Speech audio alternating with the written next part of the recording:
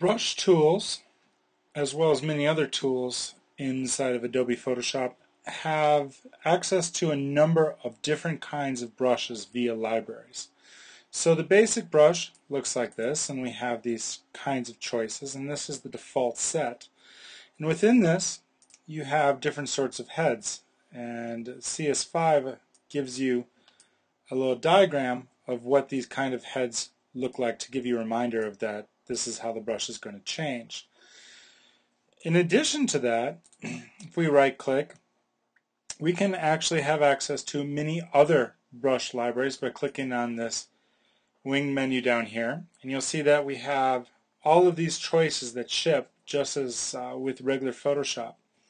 So for instance, if I want natural brushes, it's going to say, give me a choice. Would I like to append or would I like to replace?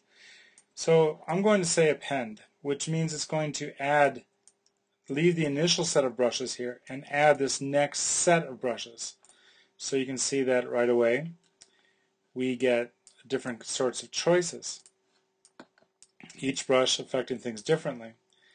And I can continue to add and add different sorts of brushes on here.